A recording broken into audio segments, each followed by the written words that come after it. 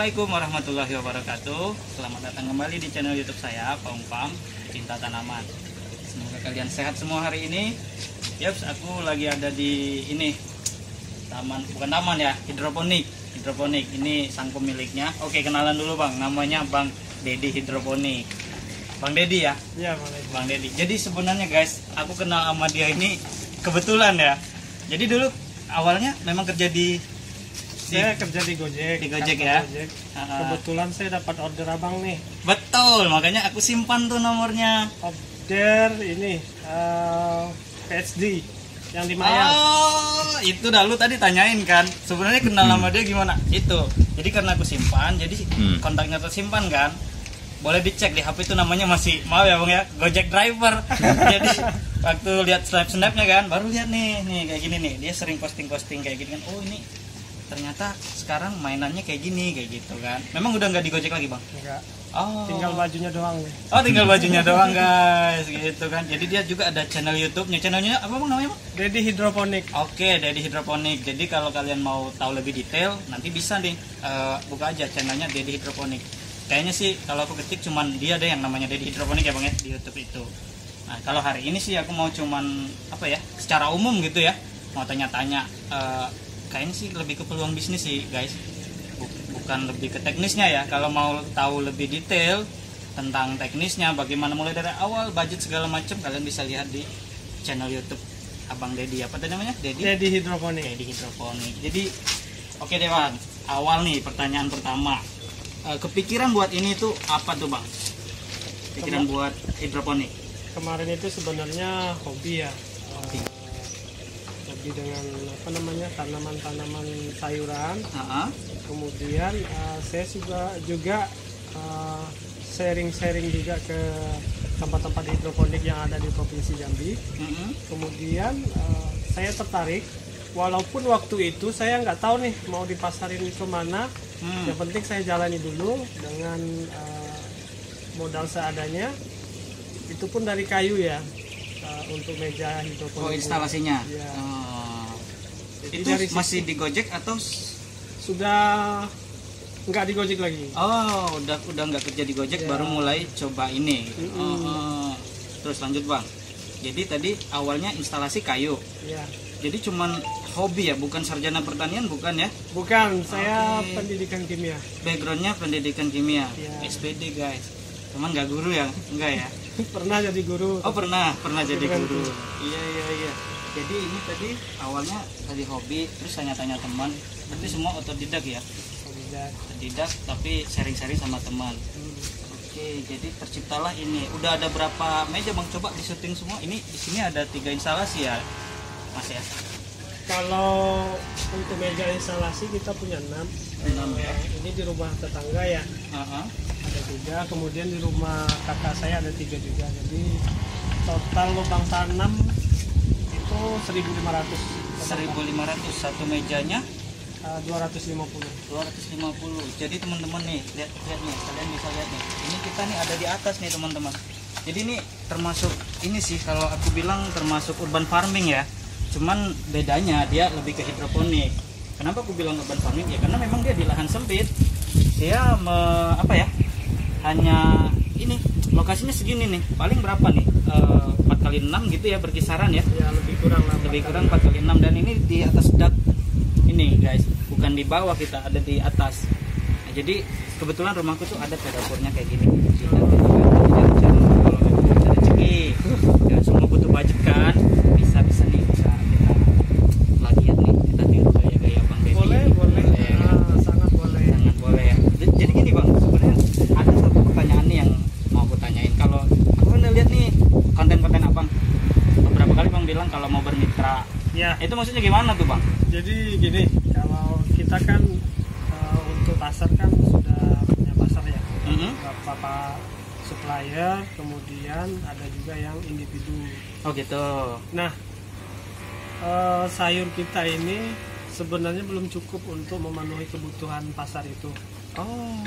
Jadi kita kepengen eh, teman-teman yang ada di provinsi Jambi Mhm.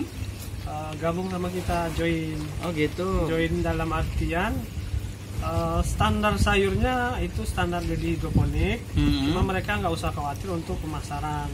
Jadi Oh. langsung jual ke kita aja nanti. Oh gitu. Maksudnya Hmm. misalnya nih, misal nih aku aku punya apa?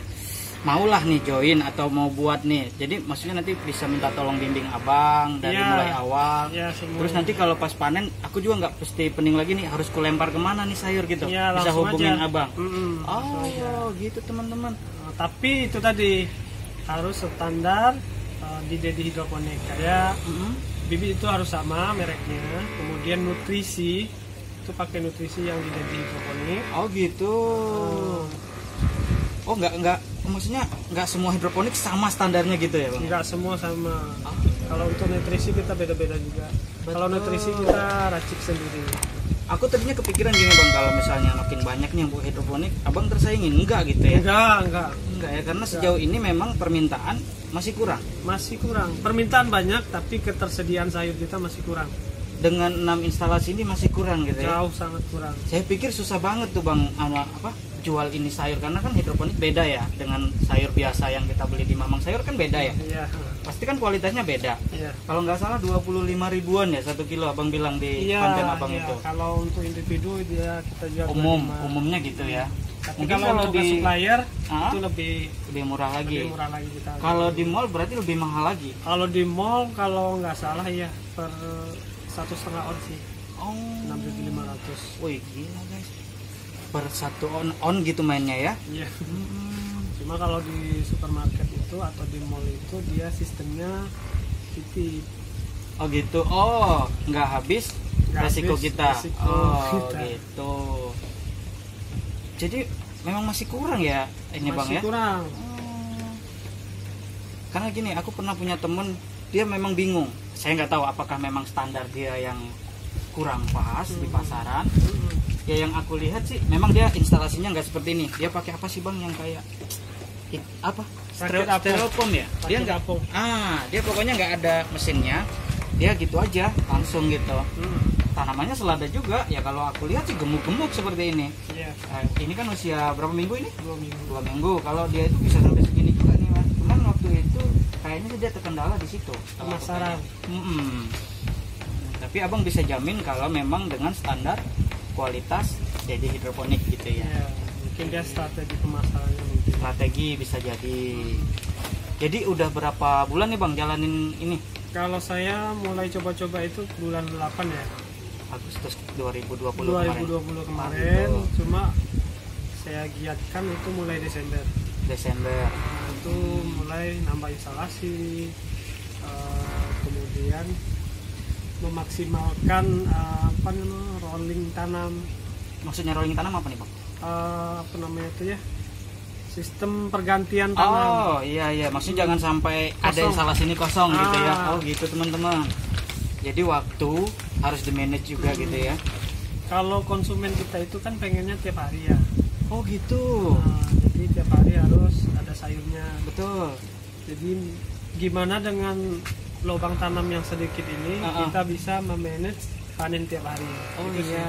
Kalau kita salah, misalnya nih aturan eh, kapasitas kita 5 kilo per hari Ah, ah. panennya, kita Ah. panen 10 kilo atau 15 kilo.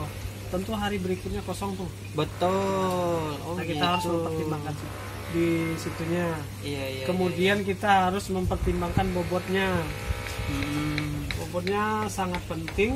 Kenapa sangat penting? Karena jumlah lubang tanam terbatas ini kita Ya. harus mempertimbangkan bahwa dengan jumlah sekian kita harus eh, panen tiap hari gitu. Oh iya. Hmm, Asik sih. Asik. Ini ini usia berapa nih nih nih bang? Ini pada hari nih. Pada hari. Di sini ya. Boleh aku angkat? Boleh. Oke, jadi kayak gini nih teman-teman. Ini ini apa medianya nih? Ini Rokul. rokul namanya ya. Iya. Memang kayak apa? Busa gitu ya bang ya? Iya. Kalau rokul ini daya serapnya sangat tinggi. Daya serap airnya. Jadi nanti media dia sampai sebesar ini sampai panen memang cuman ini. Boleh diangkat. Oh, memang cuman rokul itu. Memang cuma rokul. Ah, tapi dia sekali pakai. Sekali pakai. Nanti kalau panen udah Hmm. cabut gitu ya. Kalau Oh. kita jual itu sama akarnya di sini. Oh gitu. Kita tinggal, cabut. iya iya iya iya Jadi ini eh, dua minggu ya, dua minggu semingguan lagi panen lebih kurang seminggu lagi panen. Ah, Jadi ini sangat bersih. Dan eh, kalau panen itu kita pas ada yang mesan kita langsung panen. Jadi oh sangat segar. betul jadi nggak nggak harus dipanen semua nggak ya Iya. ketika orang datang baru kita ambil Kalau kita ambil. Jadi teman-teman, buat sahabat yang ada di Jambi, kalau misalnya bingung nih cari sayur kualitas hidroponik yang baik, boleh ke sini. Ini apa nama lorongnya dong? Tepatnya alamatnya? Jalan Nusa Indah 2, Jalan Nusa Indah 2. Hmm. Lorong apa tadi ya? Ada nama lorong. Lorong Kayu Manis 2. Oke, Lorong Kayu Manis 2 perumahan ini. Jadi Gemilang Asri. Iya, Gemilang Asri. Kalau misalnya kalian ini bingung ya kan atau lihat di channel Dedi Hidroponik, di situ juga ada kontak WA-nya. Gitu. Jadi sejauh ini pemasaran yang paling kenceng nih Bang penjualannya itu ke umum atau ke pasar? Kalau saya ke supplier, Oh, supplier. eh, pasar tradisional. Pasar tradisional. Oh. Kalau di situ berarti sistemnya drop ya. Iya. Panen sekian banyak langsung. Ya. Iya, walaupun mungkin nggak sampai 25.000 gitu ya. Oke, dan itu kalau Abang tanya sejauh ini habis terus. Habis, Di pasar itu habis terus ya. habis. Jadi itu Bahkan teman-teman kekurangan. Kekurangan ya. Jadi kalaupun kalian mau main hidroponik nggak usah takut berarti ya. Nggak usah takut. Nggak usah takut. Kadang-kadang memang di situ bang, masalahnya di penjualan yang paling sering. Eh, saya kira nggak ada masalah ya. Gak ada masalah. Yang ya. masalah itu kadang eh, mental kita itu menjadi masalah. Down duluan gitu. Iya, ya. down Down duluan. duluan. Kita banyak mikirnya, jadi ya apa pun yang kita inginkan, yang nggak jadi kalau banyak mikirnya. Asik bos tuh. Itu Itu kata-kata motivasinya tuh. belum apa-apa, Udah takut udah duluan takut ya. duluan. Tuh. Ya jalani aja. Kalau saya kemarin eh, try and error ya, Iya. dari kayu, cuman eh, 100 lubang tanam. Ah, Alhamdulillah sudah nambah nih. kemarin itu sebenarnya kan teman-teman kita udah lama nih rencana tapi dua hari yang lalu juga gagal lagi katanya pasang instalasi itu instalasi ini juga Iya instalasi. Ah, instalasi orang mau mau buat hidroponik Iya saya bantuin doang. Nanti Ah. itu mitra kita sih sebenarnya. mitra juga ya oh gitu buat berapa ini instalasi dia 250 lubang tanam lebih gede.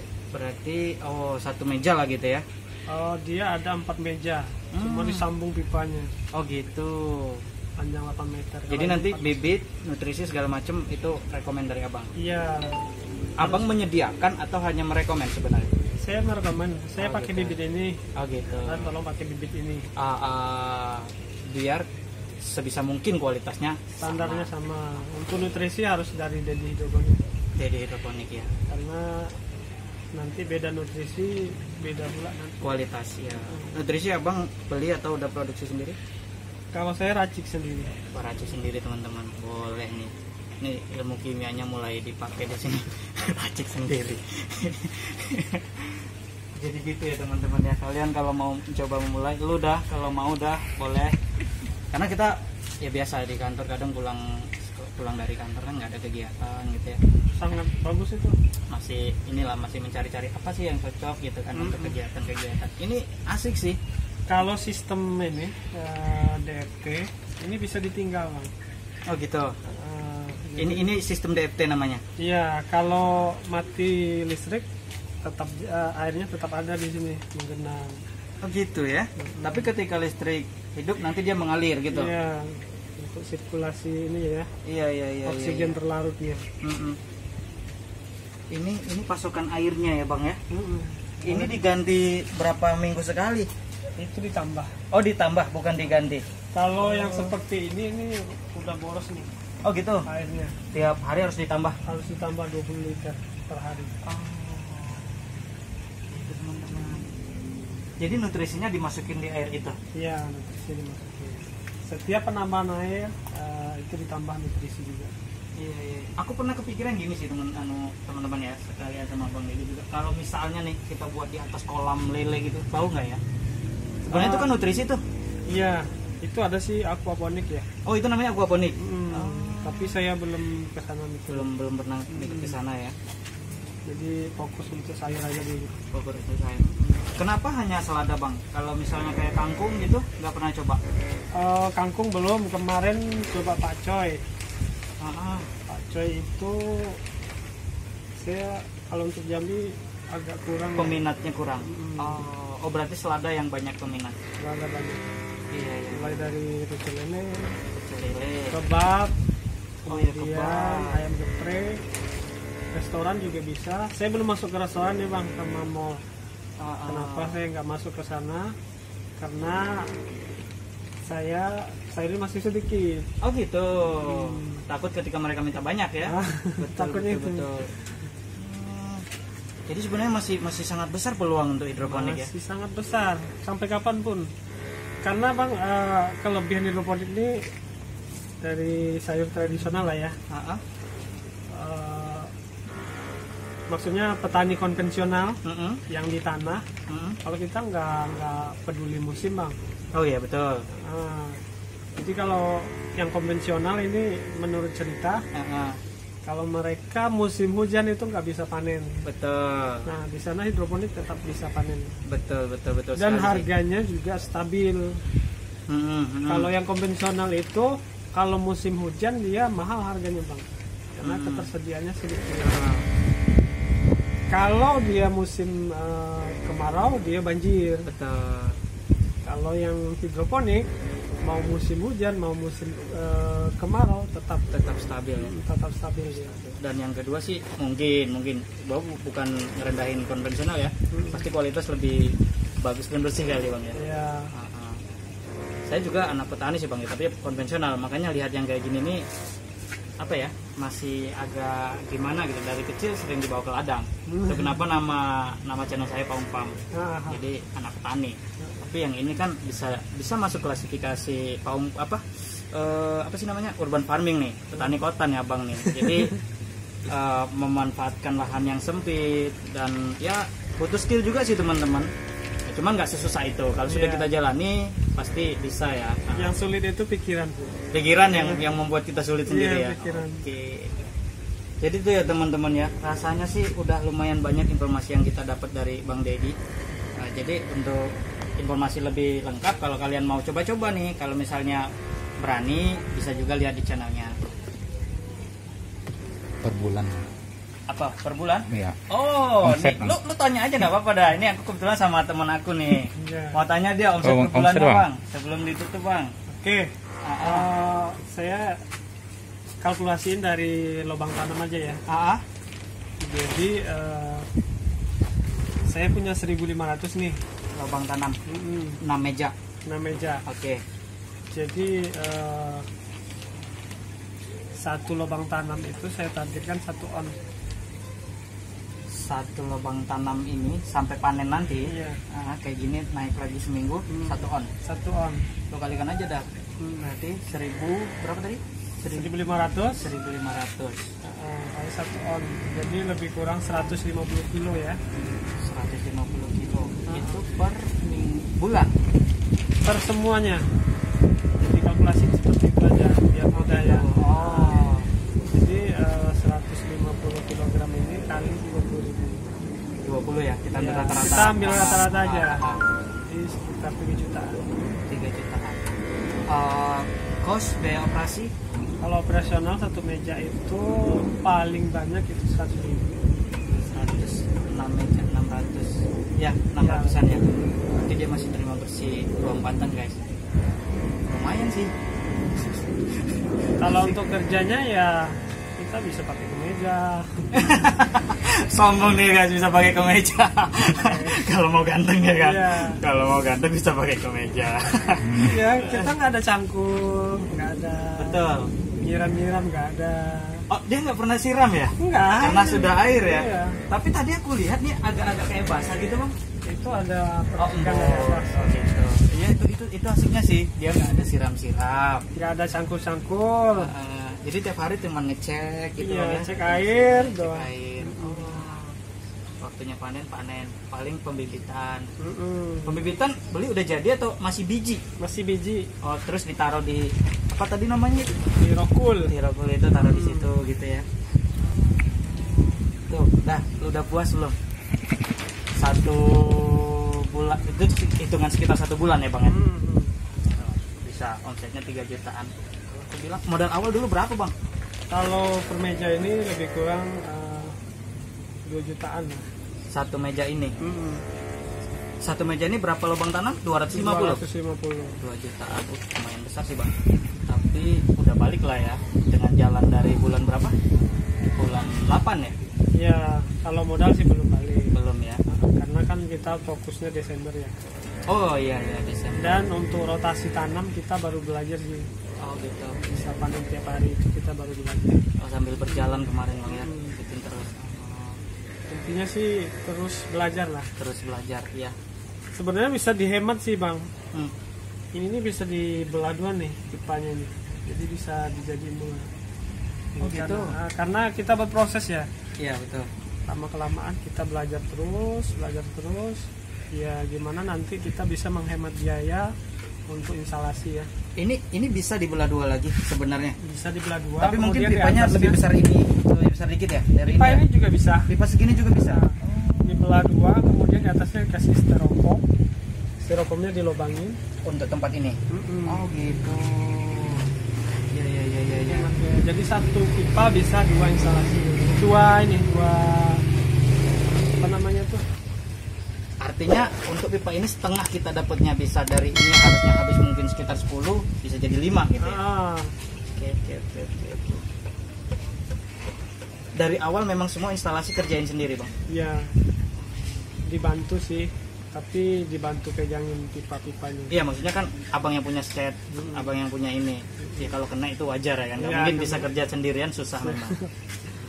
Oke guys rasanya sih udah cukup dulu udah lumayan banyak nih Ya. sebenarnya di sana ada tiga meja lagi di sana itu isinya selada juga bang ya selada semua Ada juga uh, untuk rotasi tadi ya bang ya. Ya. Yang di sana mungkin sebesar besar ini juga atau lebih besar dari ini. Ah, lebih kecil Oh lebih kecil dari sini. Nah, gitu. Jadi gitu teman-teman ya. Kalau kalian mau mencoba hidroponik bisa hubungin Bang Dedi atau coba-coba sendiri juga. Dia nggak akan takut kesaingi enggak enggak karena memang peluang, uh, maksudnya permintaan pasar itu masih masih sangat banyak kekurangan ya bang ya. Iya. Ah, ah, gitu. Ya itu dulu ya teman. Terima kasih banyak loh aku Iya. Bang Dede ya Iya. udah bisa datang ke sini diterima dengan baik dan kita sharing ya karena ini masih satu genre lah pe- pecinta Iya. tanaman juga intinya hobi bertanam-tanam seperti ini walaupun cara dia berbeda. Nah jadi kira-kira seperti itu ya teman-teman ya. Eh, jangan lupa kalian kunjungin juga eh, channel YouTube-nya Bang Dedi Hidroponik. Ketik aja Dedi Hidroponik. Nah, di sana kalian bisa tahu informasi lebih detailnya lagi. Nah, jangan lupa juga klik like, share, and subscribe jika kalian merasa video ini bermanfaat. Assalamualaikum warahmatullahi wabarakatuh. salam dari pemuda pengangguran Oke, ya keren-keren. Oke, sip.